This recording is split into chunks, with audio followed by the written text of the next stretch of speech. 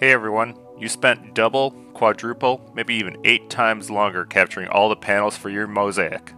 Now let's get them zipped together. Welcome to SETI Astro. Last year, PixInsight finally updated some of their mosaic tools. The original ones took a very long time and ran on a single core. They are much faster now and a lot more accurate than the star alignment method. Here's two mosaics I've captured, a 2x1 of California and a 4x4 of the North American and Pelican. There's absolutely no seams in, in either of these images. And now let's work through the process of how to get these panels zipped together in a final mosaic.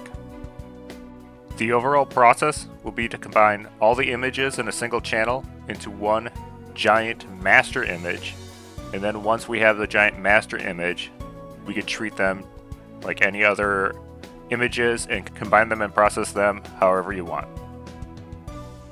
Here I have my four hydrogen panel images. The first thing to do will be to gradient correct all your images prior to us merging them all together. Be sure to use whatever gradient correction method you see fit there's Graxpert, there's a new gradient correction tool, DBE, ABE. Uh, I'm just going to use Graxpert quick on all of them and move on to the next step. The script we're going to use is Mosaic by Coordinates. This is actually the one that they recently updated and fixed. It's very important that you have valid astrometric solutions to all your panels prior to using the script. At the top here, it allows you to input your windows just click add windows and add them. There's various projection types. I use Gnomonic for my focal length, but on very wide field ones you may want to use stereographic or even Mercator. I leave everything else unchecked. Uh, you do need an output directory if you're adding files. So if you do add files directly, you'd want an output directory for it to uh, save the files back to. If you're just adding windows, it will generate new windows and at its completion. So I'm just going to hit OK and get the process started.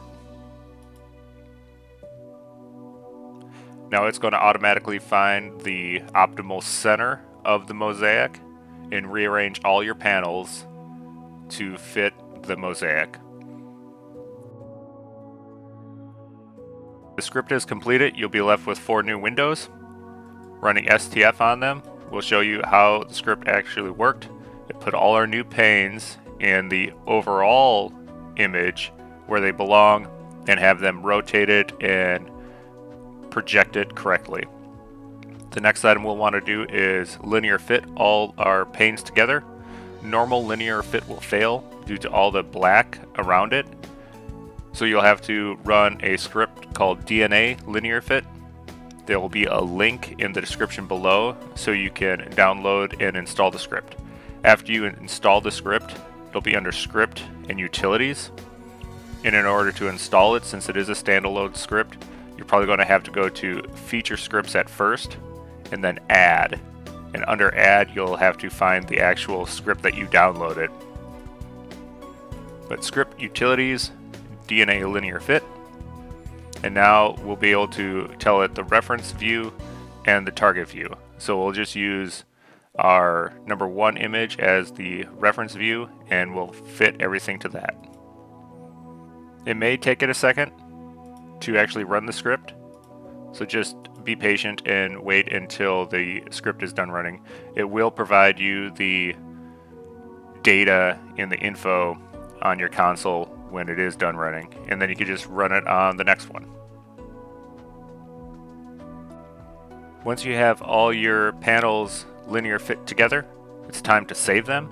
I like saving them in a single folder to make the next step easier. When you do save them, be sure to save them as XISF files.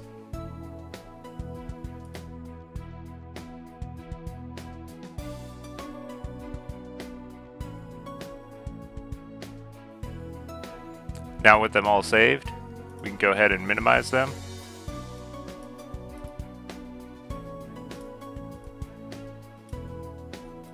And the next item is actually under Processes, Gradient Merge Mosaic. Now be sure to tell it where the files are that we just saved.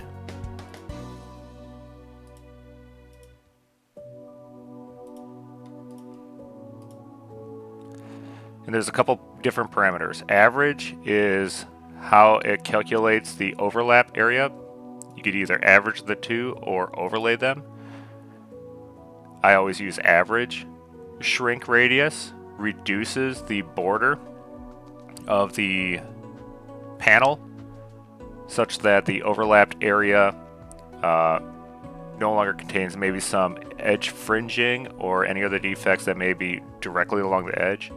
And then the feather radius is a blending of how many pixels in that it should blend with the other image. This is especially important for items that come up like pinched stars.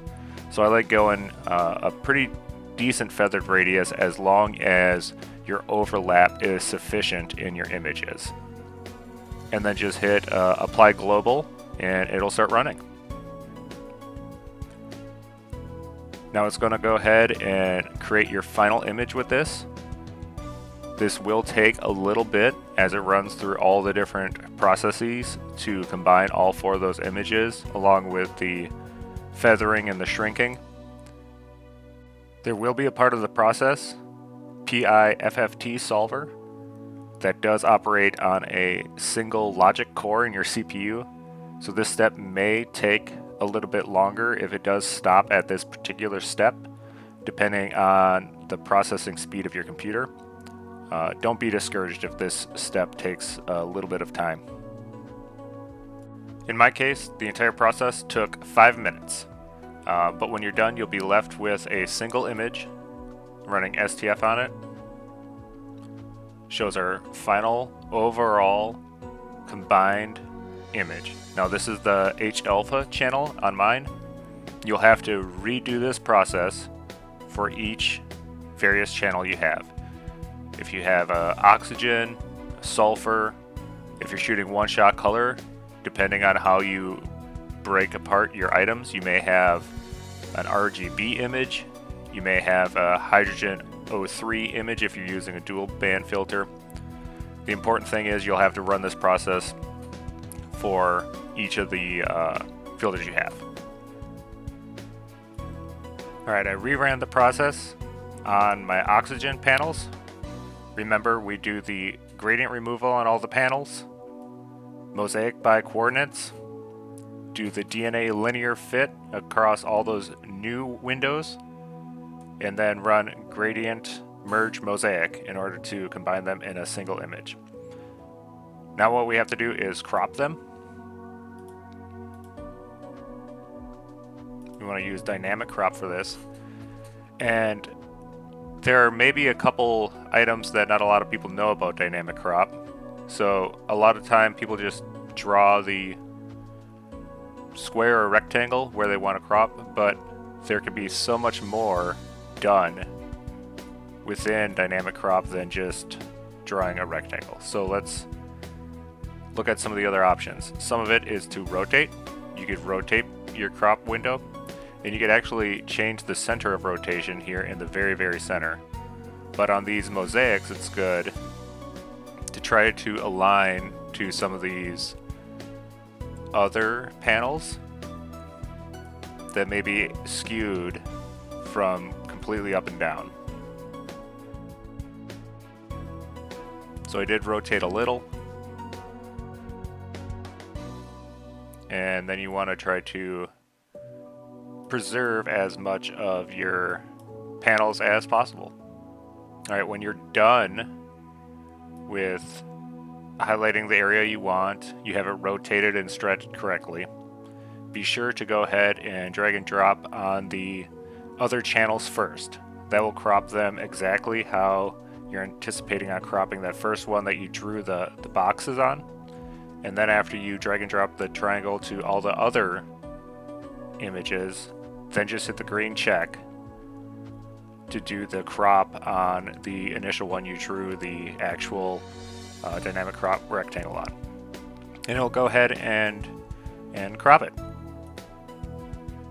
And from here, it's pretty much your standard uh, processing workflow in order to combine them.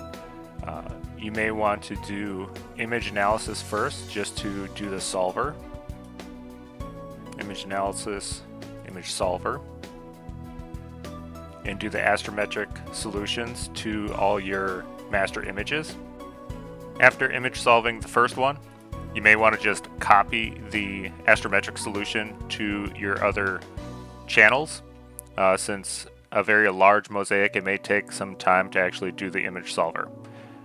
Now PixInsight has recently changed how it stores its astrometric solutions and the normal copy coordinates script is gone. So one way to do it is actually just typing right here into this console CPAST for copy astrometric solution I solved it on this hydrogen merge mosaic panel. So that's going to be my active panel. And uh, you just tell PixInsight now where you want to copy that solution to.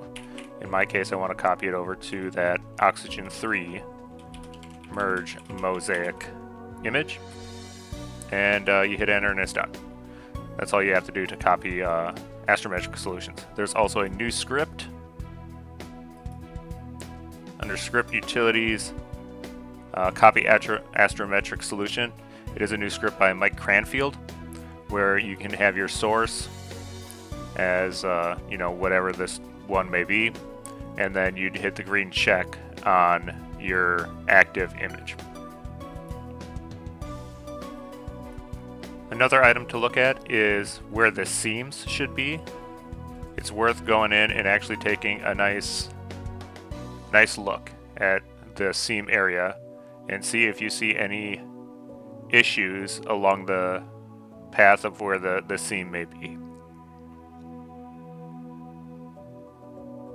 If you do it right with the feathering and drop shrink, you should not have any issues along the seams.